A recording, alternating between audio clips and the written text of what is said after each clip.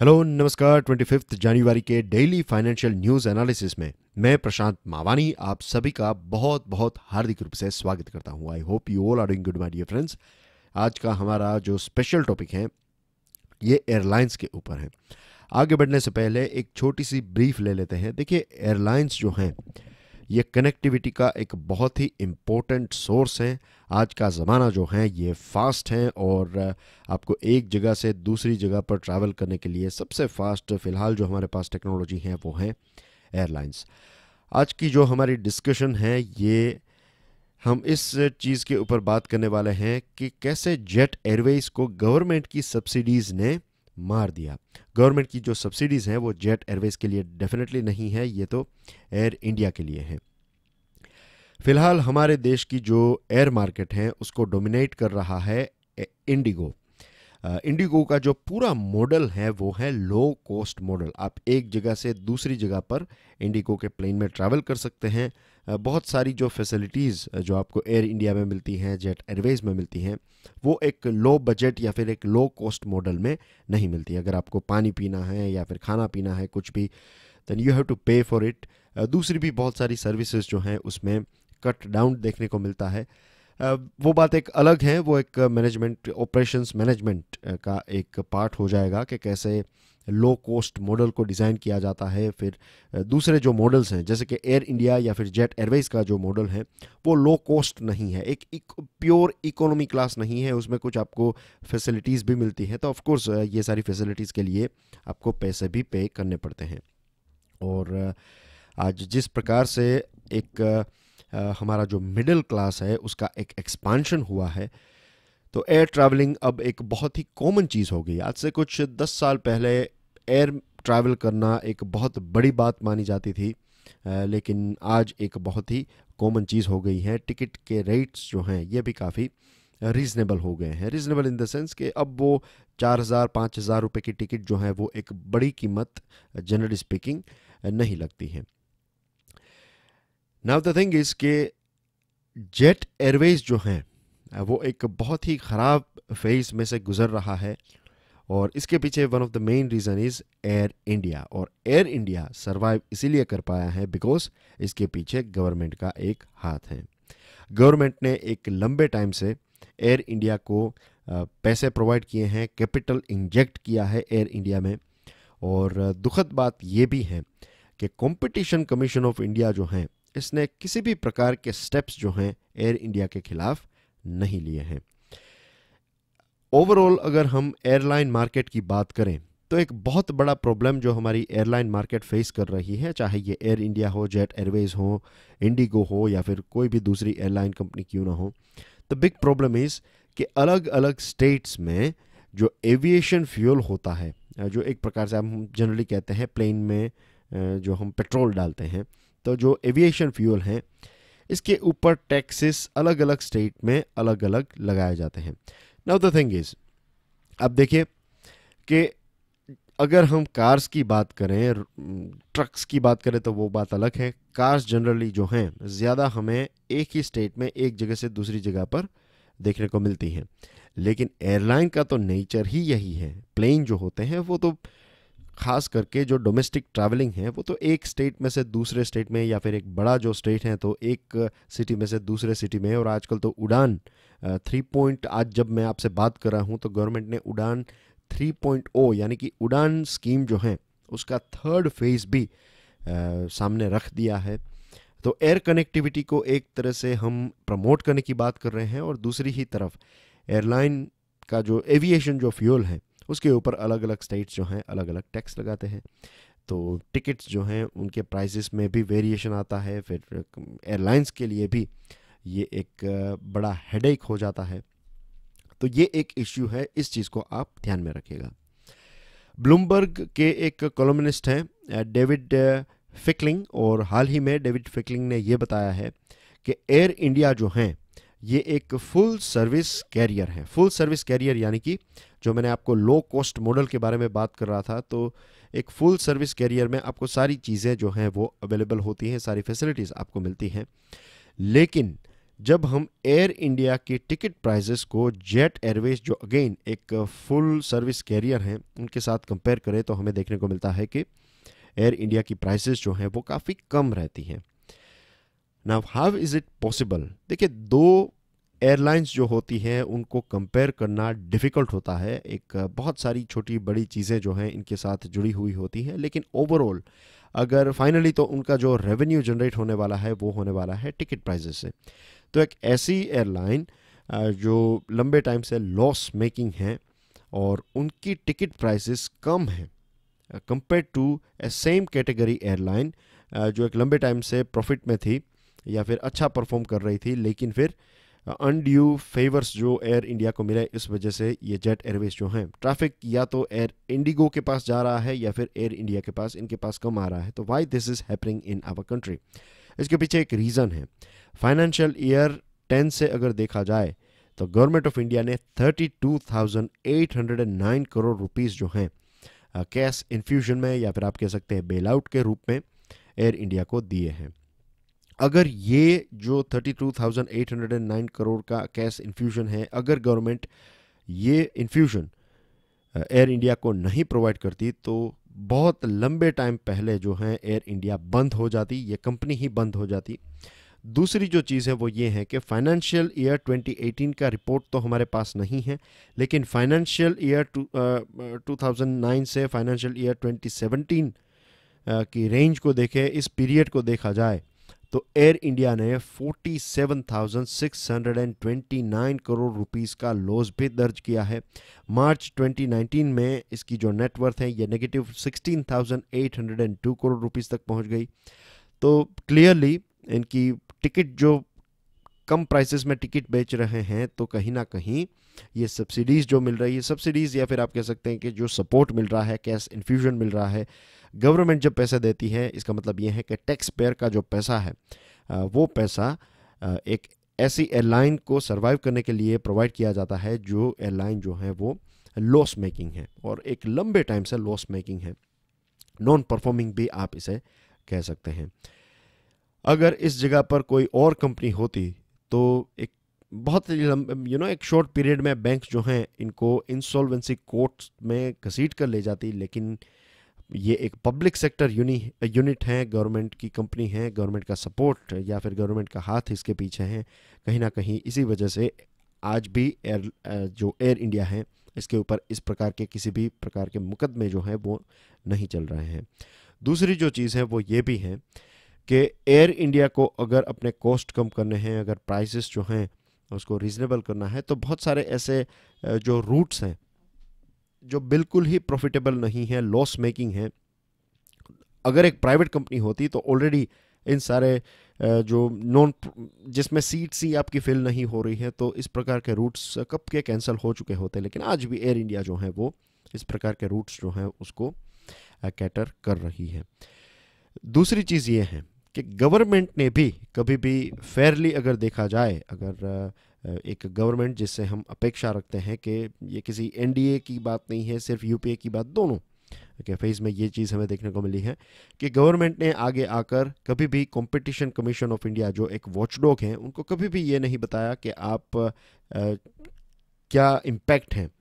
इस प्रकार के कैश इन्फ्यूजन की कंपटीशन के ऊपर आप देखिए कौन से स्टेप्स लिए जाना चाहिए। ऐसी चीज़ कभी भी गवर्नमेंट ने सजेस्ट नहीं की। और सीसीआई यानी कि कंपटीशन कमीशन ऑफ़ इंडिया इनका तो मेन जॉब ही यही है। इस प्रकार के अगर ऐसा कोई अनड्यू एडवांटेज किसी कंपनी को मिल रहा है तो फिर इसके ऊपर एक चेक रखना, इसके ऊपर एक बार रखना, ये सी का काम है। लेकिन सीसीआई ने भी कभी आकर इसके बारे में कंप्लेन जो है वो दर्ज नहीं की है। ये पहली बार ऐसा नहीं हुआ है कि सीसीआई इनएक्टिव रही है या फिर एक स्लीपिंग मोड में रही है। जब वाजपेयी साहब की गवर्नमेंट थी, उस टाइम पर गवर्नमेंट ने ये डिसाइड किया कि प्राइवेट सेक्टर फर्म्स जो हैं, जैसे कि रिलायंस हैं एसआर हैं तो इन कंपनीज़ को भी पेट्रोल पंप्स सेटअप करने का पर एक लाइसेंस या फिर एक परमिशन देनी चाहिए। आपको पता होगा, कुछ दस साल पहले, दस पंद्रह साल पहले की बात है जब ये जो एसआर और रिलायंस के पंप्स जो हैं लेटेस्ट पंप्स हमें अलग अलग जगहों पर देखने को मिले थे। If I am not wrong तो डिजिटल जो मीटर्स हैं वो भी यही कंपनीज़ लेकर आई थी। uh, अच्छे दिखने वाले पम्प्स फिर एक ऐसा भी कॉन्सेप्ट था जैसा फ़ॉरेन में होता है कि आपको एक छोटा सा सुपर स्टोर भी वहाँ पर मिलेगा। आप खाने पीने की चीज़ें ये सारी चीज़ें भी पेट्रोल पंप पे मिल जाएगी खास करके हाईवेज़ के ऊपर। परमिशन तो गवर्नमेंट ने दे दी लेकिन इसी के साथ साथ गवर्नमेंट ने पेट्रोल और डीजल के ऊपर सब्सिडीज़ भी प्रोवाइड की और ये सारी सब्सिडीज़ कहाँ पर अवेलेबल थी? ओनली पीएसयू यानी कि पब्लिक सेक्टर यूनिट के जो पंप्स हैं आईओसी एचपीसीएल बीपीसीएल तो वहाँ पर ये सारी फैसिलिटीज़ अवेलेबल थी। तो इस अनड्यू एडवांटेज ने रिलायंस और एसआर के पंप्स को बर्बाद कर दिया। कुकिंग गैस मार्केट में भी ऐसी चीज़ हमें देखने को मिली थी। नरेश गोयल आप इनके बारे में जानते होंगे तो नरेश गोयल के बारे में काफ़ी नेगेटिव चीज़ हमें देखने को मिलती हैं विजय माल्या के बारे में भी हमें नेगेटिव चीज़ें देखने को मिलती हैं। उनका भी एयरलाइन का जो बिज़नेस है आ, उसने काफ़ी लॉस क्रिएट किया था लेकिन कभी भी गवर्नमेंट का जो रोल है उसके ऊपर इस प्रकार की चीज़ें हमें पढ़ने को नहीं मिलती हैं। So that's everything about our today is a special topic I am sure आपको एक नया इंसाइट मिला होगा आज की डिस्कशन से।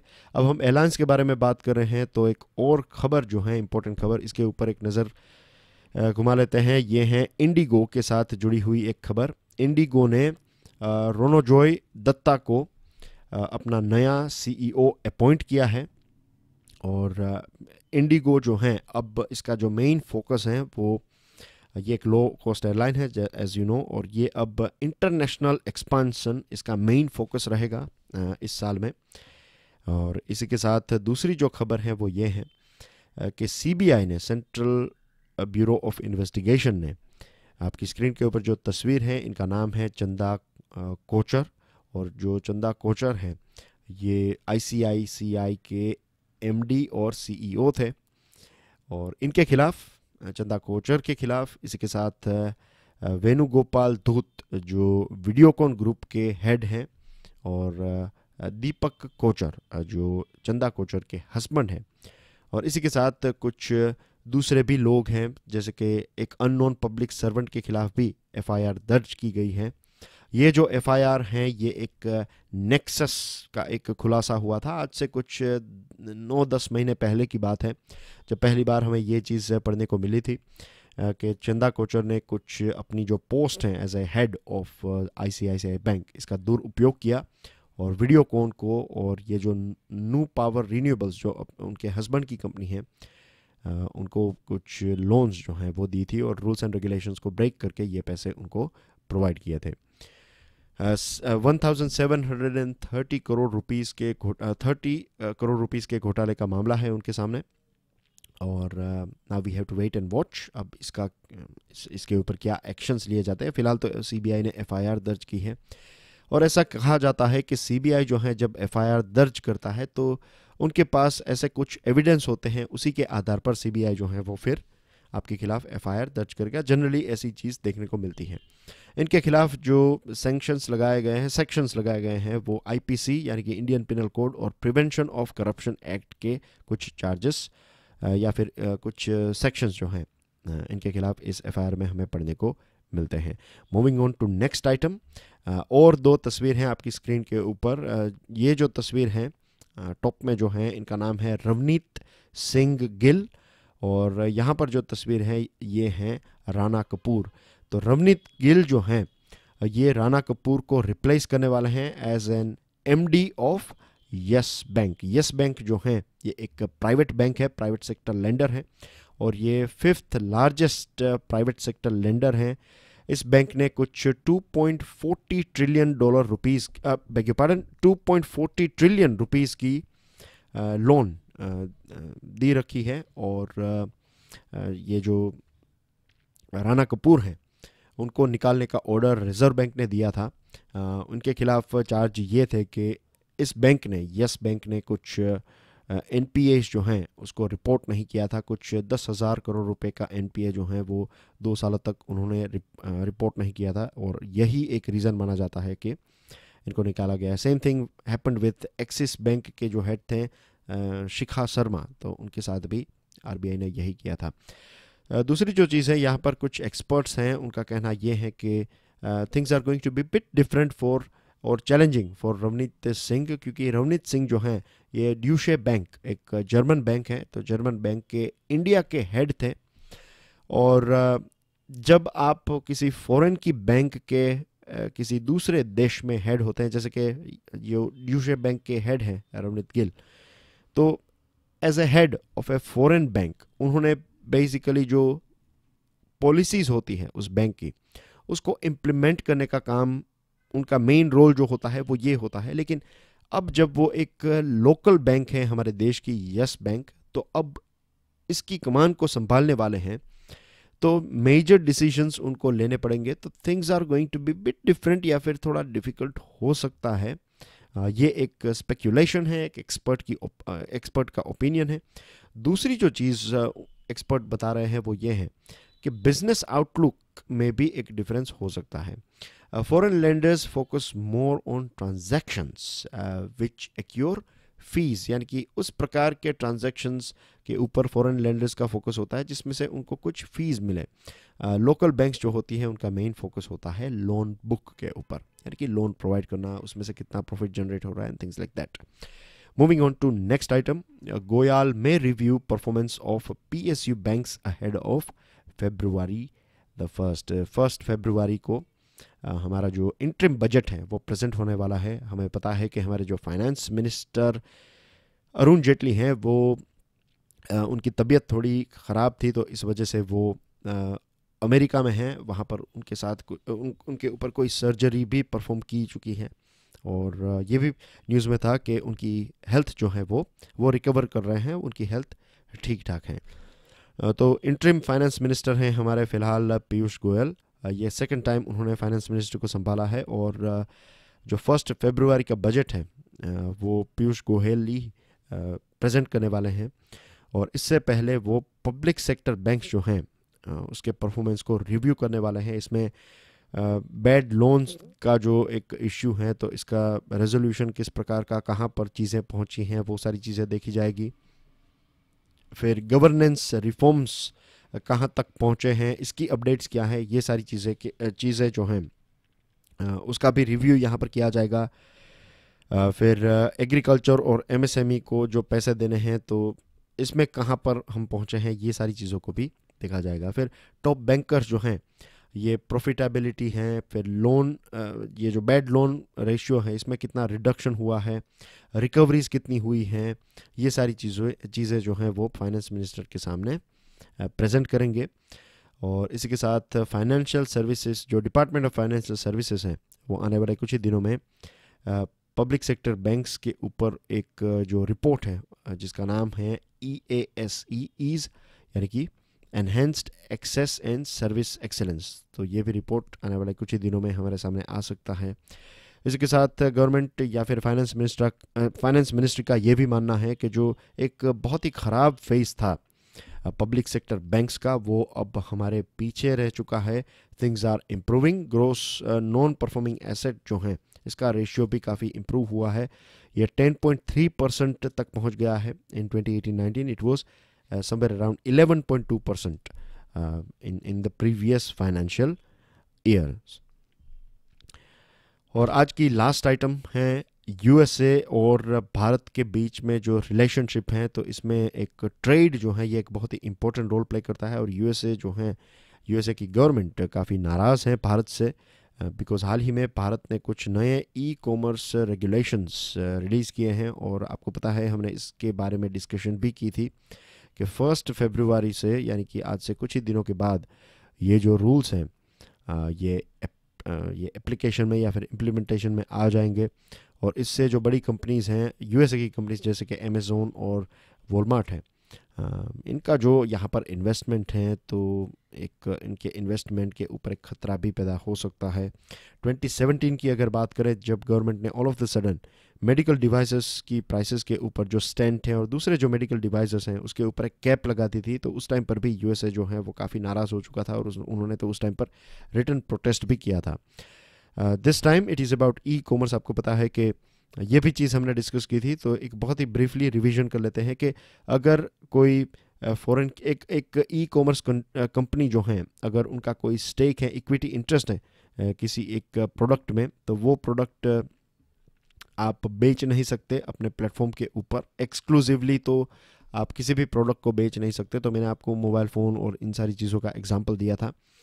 नाउ द थिंग इज़ के वॉलमार्ट ने लास्ट ईयर 16 बिलियन डॉलर का इन्वेस्टमेंट किया था हमारे देश में। उन्होंने 77 परसेंट जो फ्लिपकार्ट का शेयर है, या फिर फ्लिपकार्ट का जो एक पोर्शन है, उसको ख़रीद लिया है। और अमेज़ोन ने भी काफ़ी यू नो इन्वेस्ट किया है हमारे देश में तो इस प्रकार के सडन मूव्स जो हैं, वो कुछ एक, उनके लिए, उनको अब पूरा जो अपना स्ट्रक्चर है बिज़नेस स्ट्रक्चर उसको चेंज करना पड़ेगा। इससे उनके जो कॉस्ट हैं, वो भी अप हो सकते हैं और प्रॉफिट जो है, वो डाउन आ सकता है। अब ये तो बिल्कुल नहीं लग रहा है कि गवर्नमेंट इसमें कोई चेंजेस करेगी, क्योंकि इलेक्शंस जो हैं, अब दूर नहीं हैं और एक बहुत बड़ा यू नो करोड़ों छोटे छोटे रिटेलर्स हैं ट्रेडर्स हैं।